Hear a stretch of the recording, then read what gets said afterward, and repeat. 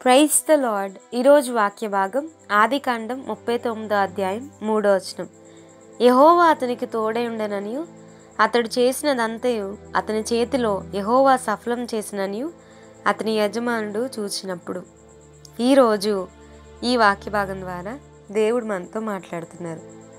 ఈ ఆదికాండం ముప్పై తొమ్మిదో అధ్యాయం మూడో వచనం కనుక మనం చూస్తే ఈ వచనం యోసేపు గారి గురించి రాయబడింది. మరి యహోవా యోసేబు నాకు తోడై ఉన్నాడు అని చెప్పని మరి యోసేబు యొక్క యజమానుడు ఫోతిఫరు గమనించడం మనం చూస్తున్నాం. సో మన జీవితాల్లో కూడా ఇతరులు మనల్ని చూస్తున్నప్పుడు మనతో పాటు దేవుడు ఉన్నాడు అన్న విషయాన్ని గమనించాలి. మన ప్రవర్తన ద్వారా మనం వేసేని వారికి చూపించగలగాలి. సో యహోవా అతనికి తోడుగా ఉన్నాడు. అందుకనే అతను చేస్తున్న ప్రతి పని కూడా సఫలమవుతుంది అని చెప్పని యోసేపుకి తనకు కలిగిన సమస్తం అంతటి మీద కూడా యోసేపుని అధికారిగా చేయడం మనం చూస్తున్నాం. సో మన జీవితాల్లో కూడా మరి మనం ప్రతి ఈచ్ అండ్ ఎవ్రీ ఇండివిజువల్కి ప్రతి ఒక్కరికి కూడా మనం వెళ్ళి సువార్త చెప్పలేకపోవచ్చు కానీ మన ప్రవర్తన ద్వారా మన క్రియల ద్వారా మనం అనేక మందికి సువార్తను ప్రకటిస్తాం. పౌల్ గారు కూడా అందుకే అన్నారు. మరి మారు మనసు పొందిన వాళ్ళు మనం ఎలా దేవుని దగ్గరికి నడిపించాలంటే మన ప్రవర్తన ద్వారా మన యొక్క బిహేవియర్ ద్వారా మనం వాళ్ళని దేవుని దగ్గరికి నడిపించగలం. ఒకసారి ఒక వ్యక్తి ఒక పాస్టర్ గారి దగ్గరికి వచ్చారు. ఆయన చాలా మరి మంచి పలుకుబడి కలిగిన వ్యక్తి అనమాట ఆయన మరి ఆ పాస్టర్ గారి దగ్గరికి వచ్చినప్పుడు అయ్యా మీరు ఎలా మారు మనసు పొందారు? మీ రక్షణ సాక్ష్యం ఏంటి? అని చెప్పినప్పుడు ఆయన మాట్లాడుతున్నారు. వాళ్ళు ఏసే అంటే మరి కొంచెం అసహించుకునేవారు. అలాంటి పరిస్థితిలో ఆ ఇంట్లో వాళ్ళు చాలా ధనవంతులు చాలామంది పని వాళ్ళు ఆ ఇంట్లో పనిచేస్తూ ఉండేవారు. అయితే వాళ్ళు ఏంటంటే ఎప్పుడన్నా మర్చిపోయి ఏదన్నా బంగారం కానీ ఏదన్నా డబ్బులు కానీ మర్చిపోయి పెడితే ఆ పని వాళ్ళు తీసేసేవాళ్ళు దాన్ని తీసేసి అమ్మో మాకు తెలీదు మాకు తెలియదని అలా చేస్తూ ఉండేవాళ్ళు. అలాంటి సమయంలో వాళ్ళ జీవితంలో వాళ్ళు చాలామంది పనోళ్ళని చూశారు కానీ ఒక వ్యక్తి ఒక స్త్రీ వాళ్ళ ఇంట్లో పనికి చేరింది. చేరిన ఆమె ప్రతిదీ కూడా చాలా చక్కగా చాలా నిపుణత కలిగి చేస్తుంది. అంట్లు తోమితే అవి చాలా శుభ్రంగా తోముతుంది బట్టలు కూడా చాలా నీట్గా అసలు ఎంతవరకు మా ఇంట్లో మరి చేరిన ఏ పని వాళ్ళు కూడా ఆమె కడిగినంత శుభ్రంగా ఆమె ఉతికినంత శుభ్రంగా ఆమె ఊడ్చినంత శుభ్రంగా ఎవరో చేయలేదండి. చాలా చక్కగా పనిచేస్తుంది. అట్లాగే ఆ ఇంట్లో ఆమె కలిగి ఉన్న సాక్ష్యం ఏంటంటే వాళ్ళు ఎప్పుడన్నా పొరపాటున బంగారం కానీ డబ్బులు కానీ ఏదన్నా గాజులు కానీ ఏదన్నా పెట్టి మర్చిపోతే సాయంత్రం వాళ్ళు రాగానే అయ్యా అమ్మ మీరు ఇక్కడ పెట్టారు. ఇదిగోండి తీసుకోండి అని చాలా జాగ్రత్తగా ఇచ్చేస్తట సో ఇలా కొంతకాలం ఆ పని మనిషి యొక్క ప్రవర్తన గమనించిన వీరు ఆమెను పిలిచి ప్రత్యేకంగా అడిగారంట అమ్మా నువ్వేంటి ఇంత ప్రత్యేకంగా ప్రవర్తిస్తున్నావు? ఎంత నీతిగా ఉంటున్నావేంటమ్మా ఇంత నీతివంతురాల్లో ఉంటున్నావేంటి? అని అన్నప్పుడు అవందంటయ్యా నేను కూడా అందరికిలానే నీతి లేని దాన్నేనయ్యా.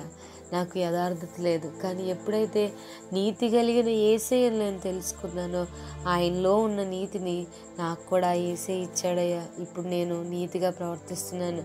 ఏసేని తెలుసుకున్న దగ్గర నుంచి నా క్రియల్లో మార్పు వచ్చిందయ్యా అని చెప్పని ఏసే గురించి వాళ్ళకి సువార్త ప్రకటించినప్పుడు వాళ్ళు వెంటనే అవునా? ఈ ఏసే ఎంత గొప్ప దేవుడా? ఆయనలో ఉన్న నీతి ద్వారా మనుషులు మారుతారా? ఆయన నమ్ముకున్న వారు ఎంతగా ప్రవర్తనలో మార్పు వస్తుందా? అని చెప్పని వెంటనే ఒక బైబిల్ తెప్పించుకొని ఆ బైబిల్ని చదవడం మొదలుపెట్టారంట. అసలు ఏముంది ఈ బైబిల్లో? అసలు ఏముంది ఏసేలో తెలుసుకోవాలని చెప్పిన అన్యులు బహు విగ్రహారాధికులు ఆ స్త్రీ యొక్క ప్రవర్తన ప్రవర్తన ద్వారా దేవుని యొక్క గొప్పతనాన్ని తెలుసుకుని బైబిల్ తెచ్చుకొని చదివి మరి రక్షణలోనికి వచ్చి వారి పేరు మార్చుకొని దేవుని కోసం వారు జీవించడం మనం చూస్తున్నాం. ఒక గొప్ప సాక్ష్యం దైవజనుకు చెప్తున్నాడు. సో సేమ్ మనం కూడా. ఆమె ప్రవర్తన ద్వారా వారికి సువార్త ప్రకటించలేదు. వారికి వెళ్ళి ఏసే గొప్ప దేవుడండి అని చెప్పలేదు కానీ తన ప్రవర్తన ఏ పని చేస్తున్నా కూడా పర్ఫెక్ట్గా చేస్తున్నారు. అలాగే ఆ పనుల ద్వారా చాలా నీతిగా ఉండి ఏసేను ప్రకటించగలిగింది. మనం కూడా మనల్ని చూస్తున్న వారు వీళ్ళతో దేవుడు ఉన్నాడు అని గమనించదగ్గ ప్రవర్తన మనం కలిగి ఉంటున్నామా? యోసేపు కూడా ఎంత చక్కగా తనకు అప్పగించిన ప్రతిదీ కూడా చాలా చక్కగా చేస్తున్నాడు. మరి పోతీఫర్ భార్య దగ్గరికి వచ్చినప్పుడు కూడా లేదమ్మా ఇంట్లో అన్నిటి మీద నాకు అధికారం ఎక్సెప్ట్ యూ నిన్ను తప్ప అని చెప్పాను ఎంతో నమ్మకంగా ప్రతి పనిని జాగ్రత్తగా చేస్తూ వస్తున్నాడు. అలాగే తనతో పాటు దేవుడు ఉన్నాడు అన్న విషయాన్ని పోతిఫర్ గమనించాడు. మనల్ని చూస్తున్న అనే అన్యులైన అనేకులు ఏసైను మనలో చూడగలుగుతున్నారా? మన ప్రవర్తన ఇతరులను పోలి మనం ప్రవర్తించేస్తే ఏమేందులే లోకంలో అందరు చేస్తున్నారు కాబట్టి నేను చేసేస్తా అని చెప్పి లోకానుసారంగా వెళ్ళిపోతున్నామా? భిన్నమైన ప్రవర్తన కలిగి ఉంటున్నామా? ప్రత్యేకమైన జీవితం మనం కలిగి ఉంటున్నామా? మన పరిశుద్ధత ద్వారా దేవుణ్ణి మనం గనపరచగలుగుతున్నామా మన ప్రవర్తన ఎలా ఉంది? మనల్ని చూస్తున్న అనేకులు చర్చికి వెళ్తారు కానండి వీరి ప్రవర్తన ఇంతేనండి. చర్చిలో స్తోత్రం అంటారండి. బయటకు వచ్చి బూతులు ఇష్టం వచ్చినట్టు మాట్లాడతారండి. వీరి నోటికి కదపలేదు. ప్రార్థన ఎందుకు చేస్తారో తెలియదండి అని చెప్పని మన జీవితాన్ని చూస్తున్న అనేకులు దేవుణ్ణి దూషించే విధంగాను అవమానపరిచే విధంగాను మన జీవితాలు మన ప్రవర్తన ఉందా? లేదా మన ప్రవర్తన ఇతరులను ఏసే దగ్గరికి ఆకర్షించే విధంగా ఉందా? మనం ఎలా ఉన్నామో పరిశీలించుకున్నామా? దేవుడు వాక్యానుసారమైన జీవితాన్ని మనందరికీ దయచేయను గాక ప్రార్థన చేసుకుందాం. ఏసయ్య ఈరోజు వాక్య భాగం ద్వారా మీరు మా అందరితో మాట్లాడేందుకు ఉన్నారు ఈ వాక్యం విన్న మా ప్రియులందరినీ మీ చేతులుగా అప్పగిస్తున్నాం. వారు ఈరోజు చేయబోయే ప్రతి పనిలో మీరే తోడుగోండి ఆశీర్వదించమని నజరేడన యేసుక్రీస్తు అతి పరిశుద్ధమైన నామంన అడిగి వేడుకొంచున్నాం తండ్రి. Amen. God bless you all and have a blessed day.